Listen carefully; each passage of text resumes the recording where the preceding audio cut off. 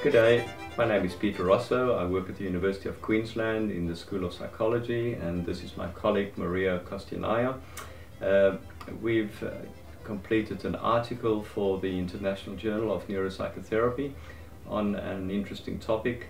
A uh, lesser known neuroscientist, uh, the Soviet um, neuroscientist Alexander Luria, his work and some of the implications of his research in neuroscience.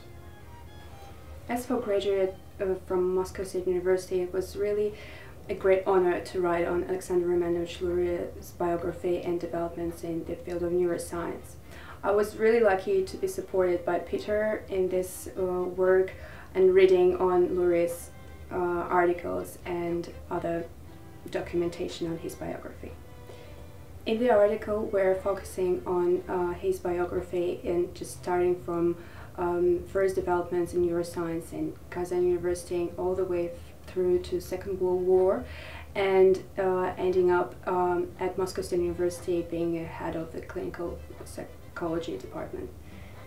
Uh, in the article, we're primarily focusing on the three functional brain units and some aspects of um, structural and functional organization of uh, human mental functions.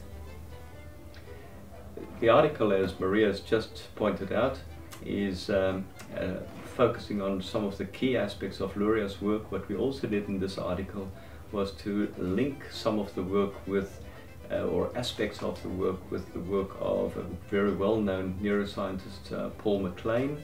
Uh, he develops a three brain or three-stage model of understanding neural development, the so-called triune brain, and it seems there's an interesting overlap between his work and the work of Luria, and we explored some of these overlaps as well.